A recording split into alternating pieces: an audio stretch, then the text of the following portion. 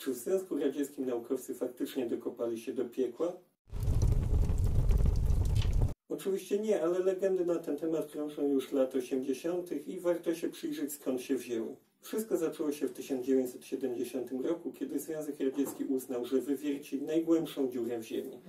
Po co? Nie po to, żeby szukać nafty i gazu, a przynajmniej nie po to, żeby w tym konkretnym miejscu ją znaleźć, ale po to, żeby po prostu dowiedzieć się jak najwięcej o tym, jak jest zbudowana nasza planeta, a w efekcie w późniejszym czasie lepiej poszukiwać cennych minerałów i skorupy.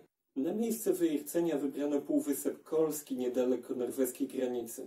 Przez ponad 20 lat udało się wywiercić dziurę głęboką na 12 261 metrów. Oczywiście nie obyło się bez kłopotów. Już w 1983 udało się dowiercić na ponad 12 kilometrów, a dalsze trochę ponad 200 metrów zajęło kolejnych, kolejną prawie dekadę. W trakcie wiercenia zdarzały się różne wypadki. Dawid Guberman, kierownik placówki, wspomina, że na głębokości ponad 12 km w pewnym momencie doszło na przykład do wybuchu, którego nie udało się w żaden sposób wyjaśnić. Niemniej absolutnie zaprzeczam plotkom o głosach grzeszników w piekle, do których rzekomo miał się dokopać świder.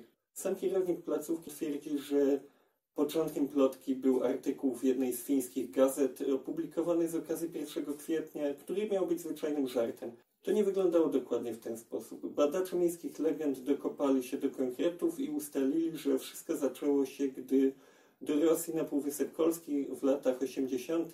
przybyli amerykańscy naukowcy. To była taka normalna wizytacja, kiedy geologowie wymieniali się swoimi doświadczeniami, naukowcy radzieccy pokazywali swoje osiągnięcia. Oczywiście żaden z amerykańskich naukowców nie snuł piekielnych wizji, ale po powrocie do Ameryki spisali oni i opublikowali raport naukowy i napisali między innymi o takim w gruncie rzeczy mało znaczącym szczególe, że tempo przyrostu temperatury wraz z przemieszczaniem się w głąb Ziemi było większe niż naukowcy przewidywali. Innymi słowy, robiło się tam coraz cieplej. Temat podchwyciła prasa chrześcijańska, która uznała, że skoro Sowieci, a wiadomo lata 80., zimna wojna i tak dalej, kopią w głąb ziemi i jest tam coraz goręcej, no to dokopali się do piekła. Wtedy w tej chrześcijańskiej prasie zaczęły pojawiać się artykuły, według których y, radziecki świder miał trafić y, na pustą przestrzeń, na bardzo dużej głębokości, a po opuszczeniu mikrofonu do tego odwiertu Naukowcy mieli w słuchawkach usłyszeć piekielne wrzaski grzeszników, którzy cierpieli w piekle. Oczywiście autorzy tych artykułów nie mieli pojęcia o badaniach geologicznych i nie wiedzieli na przykład, że na takich głębokościach nikt nie nagrywa dźwięków mikrofonami, bo to byłoby zwyczajnie niemożliwe. Ale tak jak mówię, nikt się tym nie przejmował. Ważne było, że dało się oczernić złych Sowietów i pokazać, że dokopali się do piekła, a przy okazji jeszcze snuć wizję o tym już parę lat później, że to właśnie dlatego, że dokopali się do piekła, Związek Radziecki upadł, no bo jak kraj, który dokonuje czegoś takiego może przetrwać? Oczywiście było tak naprawdę zupełnie na odwrót. To nie Związek Radziecki upadł dlatego, że na Półwyspie Kolskim wiercono głęboką dziurę, ale dlatego przestano ją wiercić, ponieważ Związek Radziecki upadł. Każdy, kto wie, jak wyglądała rosyjska przemiana ustrojowa, wie, że dziesiątki równie ambitnych projektów naukowych zostały zamknięte w latach 90., bo zwyczajnie brakowało pieniędzy.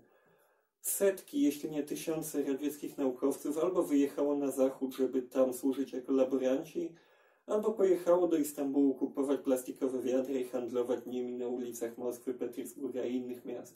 Także kilkusetosobowa załoga supergłębokiego odwiertu została najpierw ograniczona, później zakład całkowicie zamknięto, a wiercenie zostało przerwane. Dziś pracownicy tego instytutu mówią, że takie kraje choćby Chiny, które cytuję, potrafią liczyć pieniądze, kontynuują tego typu badania i dalej są trochę rozżaleni, że Rosji nie starczyło pieniędzy, żeby kontynuować odwiert, ale stało się tak, jak się stało i ta najgłębsza w historii wykonana przez człowieka dziura została zabezpieczona metalową płytą i porzucona.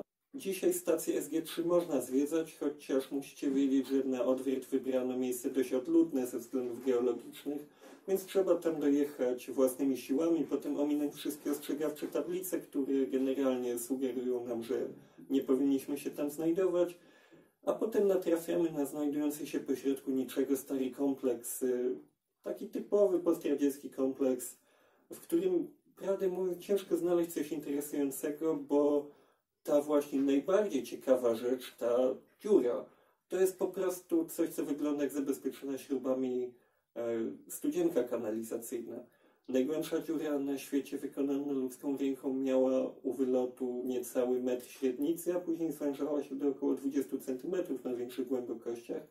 Więc tam nawet na dobrą sprawę ciężko byłoby wpaść. A że ją zabezpieczono, to jedyne co możemy podziwiać na powierzchni to napis, na którym została zapisana głębokość dziury z błędem. Jeśli chcecie usłyszeć więcej ciekawostek o Rosji i krajach byłego Związku Radzieckiego, zapraszam do subskrybowania kanału.